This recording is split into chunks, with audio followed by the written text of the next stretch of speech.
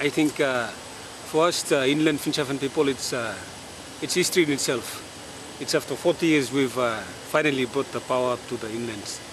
And uh, it's, it marks a historic day, especially for my people up at the Burung Ube.